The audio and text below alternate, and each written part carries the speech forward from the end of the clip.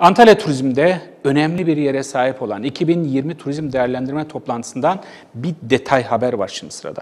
Toplantı hakkında açıklamalarda bulunan Antalya Büyükşehir Belediye Başkanı Muhittin Böcek, belediye olarak üzerlerine düşen tüm sorumlulukları eksiksiz yerine getireceklerinin sözünü verdi.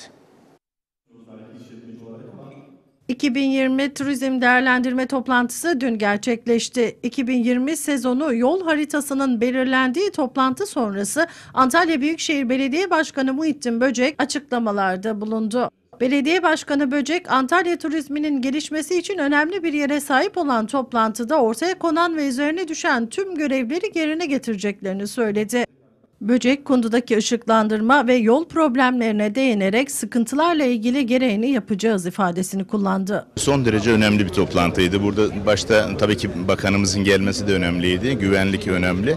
Ee, Antalya valimiz başta olmak üzere tüm turizm sektör anlamında bütün paydaşlarımız, belediye başkanlarımız, kaymakamlarımız vardı. Son derece başarılı bir toplantıydı. Biz de Büyükşehir Belediyesi olarak genel sekreterimizden tüm daire başkanlarımızla bütün çalışmalarımızla ilgili sezona hazırız. İnşallah güzel bir sezon olacak. Kundu ile ilgili bir plan iptali var. Ee, Onu Turizm Bakanlığı yapıyor. Gereğini yapacağız.